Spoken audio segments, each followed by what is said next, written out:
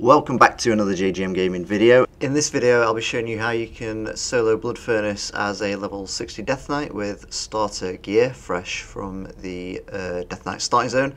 You can probably do this at level 59 as well but 60 makes it a little bit easier. Here are the talents I'll be using. You can obviously slow down the video and copy these.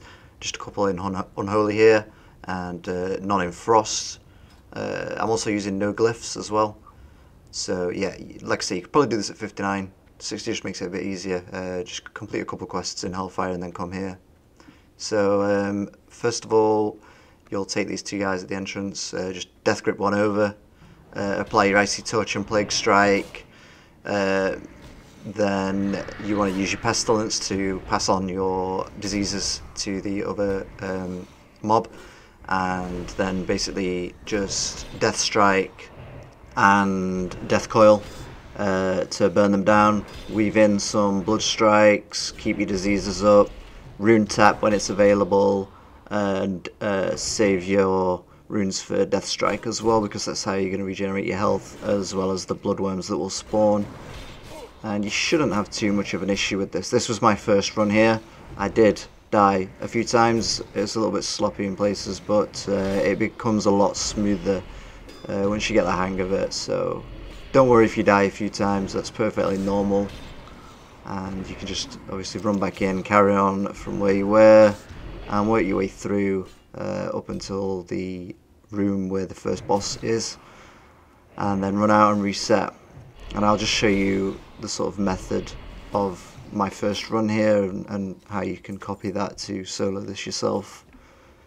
Uh, I am going to attempt this as a duo as well, just to see how much easier that makes it so I'll uh, I'll post that in an upcoming video. Um, I need to put this food on my action bars. Uh, you can also use the special brew that you get from the Death Knight starting zone as a potion here, and you will loot potions.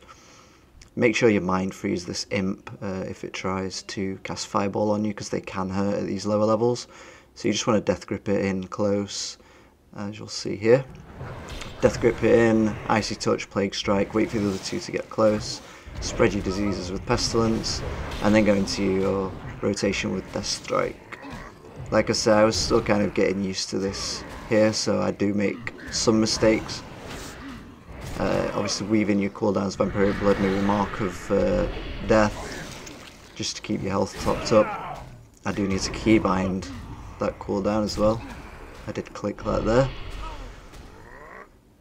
And these should go down pretty easy once you get the hang of it and you shouldn't really have any issues with uh, killing these guys and obviously just repeat the same process here for the other two packs in this room. Just exact same thing.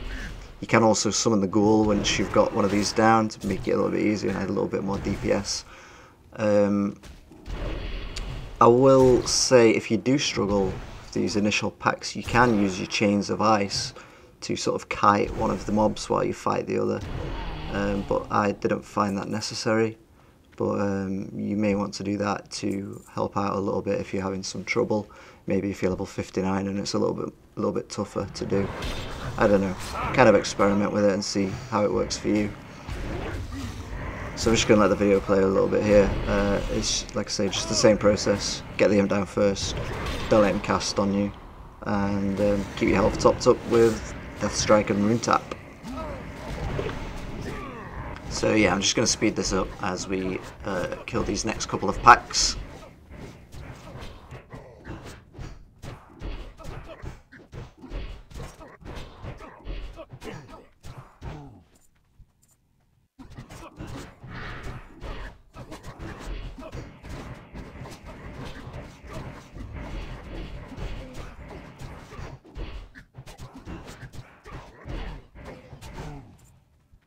Okay, once you've got those down, uh, these next two guys are really simple again, just same as the first two mobs that we encountered when we entered the dungeon, nothing special here, just uh, two normal mobs. They don't run away from you when you get them low health, so nice and easy to kill. Just spread your diseases, keep them up, keep them ticking. Bloodworms doing the work, getting the health back, Death Strike, getting the health back. If you need to, use your Mark of Blood, or you also have Vampiric Blood, uh, both really good for regenerating health if you find yourself in a bit of a sticky situation.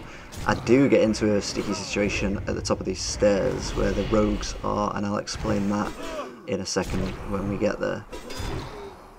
So we got that guy down. Nice XP, 3.8k per kill as you can see. This is unrested of course.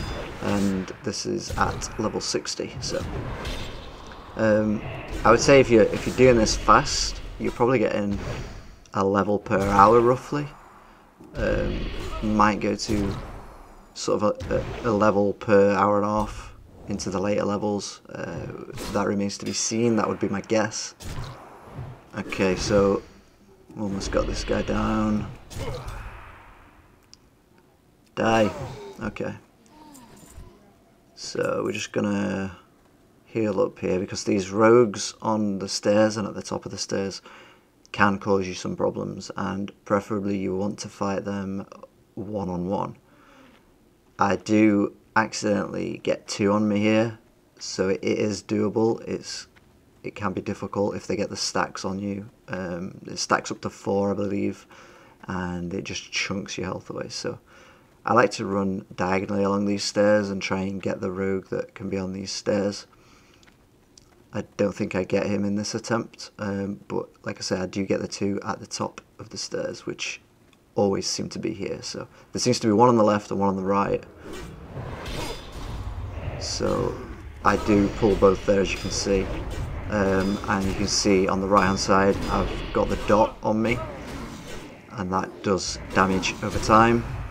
See, if you do get two, just pop as many cooldowns as you can really and, and try and DPS them down as fast as you can. You don't want that stack uh, on you for very long.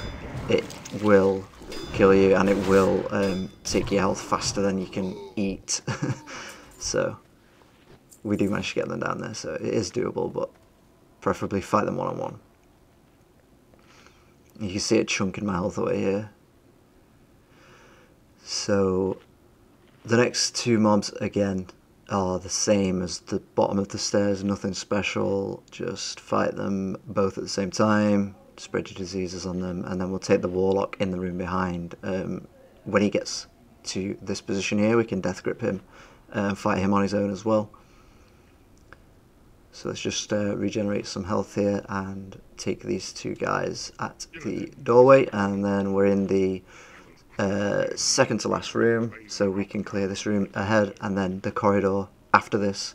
And that's pretty much as far as we can go right now.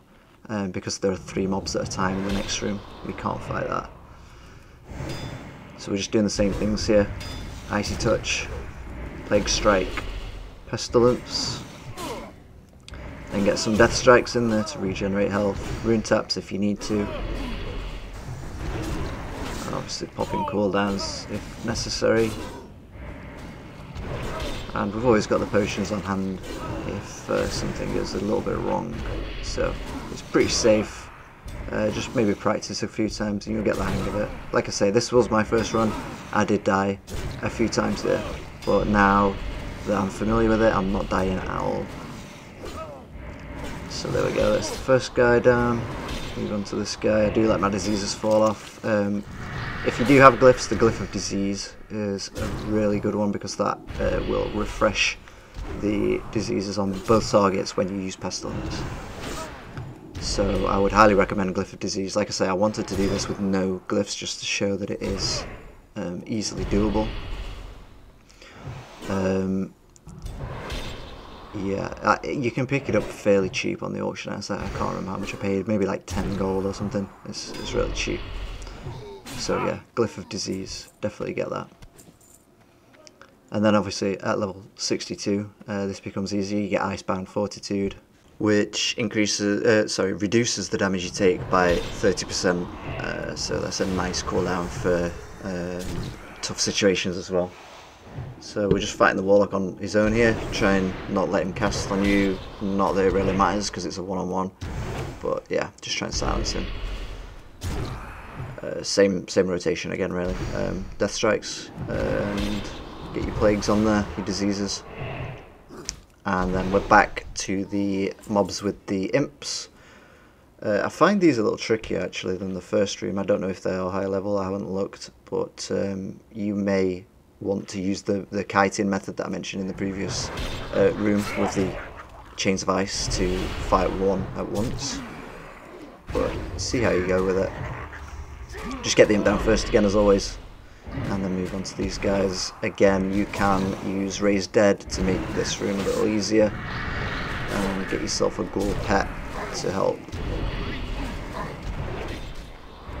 So I'll probably speed this up again because it's just three packs of the same thing.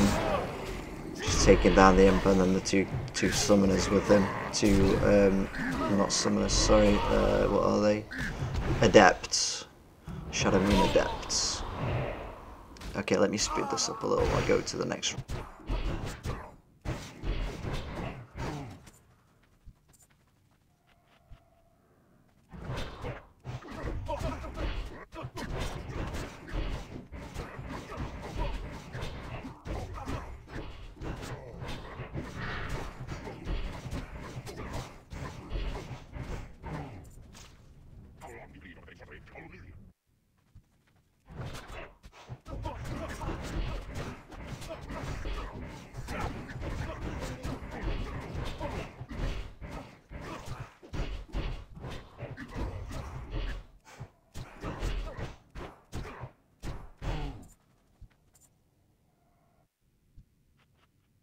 Okay, so in this corridor, these legionnaires will berserk when they get lower health, so you want to focus those first, in my opinion.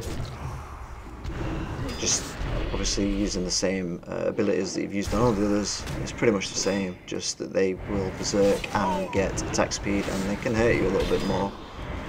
But I wouldn't say it's anything really to worry about. So you have these two here, and then the next two that you can see just ahead of me, and then you can't go further than that, as far as I'm aware. Maybe at high level, but at level 60 I don't believe you can. Um, if you can get further than that, then let me know. I'd like to see. I get a little bit low on health here, as you can see, because he berserks. Or enrages. But uh, it's not too much of an issue. Um, I am using Frost Stance for this, by the way. Um, if you do need to regenerate health, it might be wiser to switch to Blood Stance. Um, I, can, I can do pop a potion here just to heal me back up a little bit. So we get this guy down. And then the final two before we can run out and reset. Oh, the gold here is not amazing, by the way. Um, I wouldn't really say this is a decent gold farm. It's more of an XP farm. So let's just get to full health and take these last two. You can see up ahead there, uh, there's packs of three. Uh, they're the ones that I don't believe we can take just yet. Uh, you probably will be able to do with a duo and like I say I will bring that video out I'll try this with a duo see how much easier it makes it see whether it makes it faster better XP in terms of time or not. We'll we'll find that out, and we'll see how far you can take this, and maybe even try the first boss. I don't know. Let's see. Okay, let's get this final guy before we go out and reset. Focus the Legionnaire again because of the Enrage. And I'll just speed this kill up as well.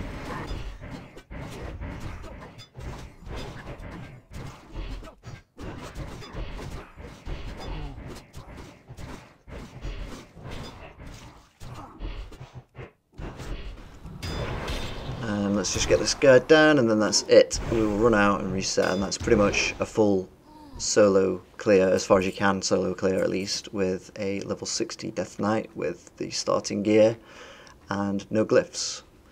So uh, thank you very much for watching and I'll see you next time.